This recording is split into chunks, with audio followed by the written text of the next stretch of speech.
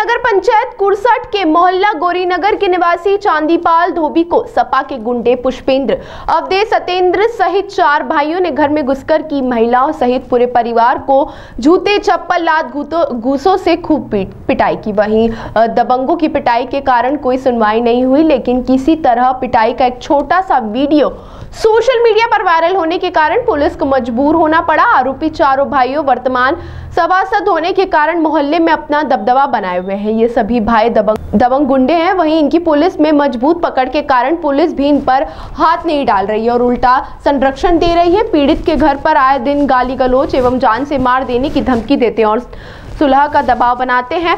सत्येंद्र कुमार सपा का एक नया गुंडा शराबी किस्म का तैयार हुआ है। उसका कहना है कि अभी हम कुछ साल पहले सनहीजा मोड़ पर दो दिन एक्सीडेंट किए थे पर दादाजी क्या नाम है आपका? हमारा नाम चंदीपा ये बताइए क्या हुआ? अरे हुआ का साहब हमारा संग बहुत दोस्ताद हो हाँ।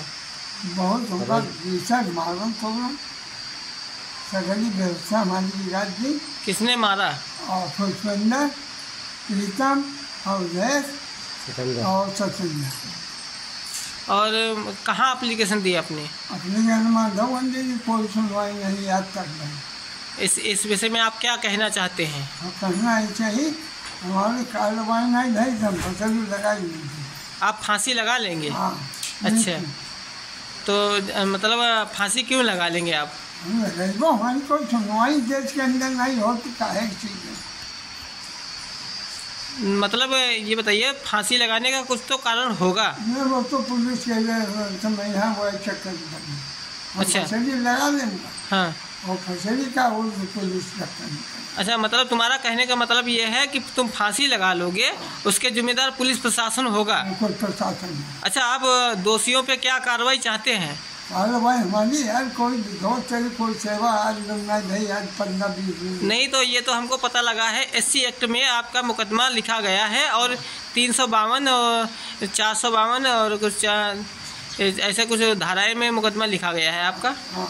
तो कार्रवाई तो हो गई है उसके बाद में आप क्या चाहते हैं? अब चाहे हमारी कार्रवाई सुनिए नहीं हम फ़सल अच्छा तुम आ, आप ये चाहते हैं कि मतलब गिरफ्तारी की जाए? हाँ जाएगी अच्छा। गिरफ्तारी गिरफ्तारी नहीं होगी उसके मतलब तो आप फांसी लगा लेंगे। नहीं हम लगा अच्छा कुछ किसी के दबाव में ये बोल रहे हैं? नहीं दबाव कोई नहीं। अच्छा।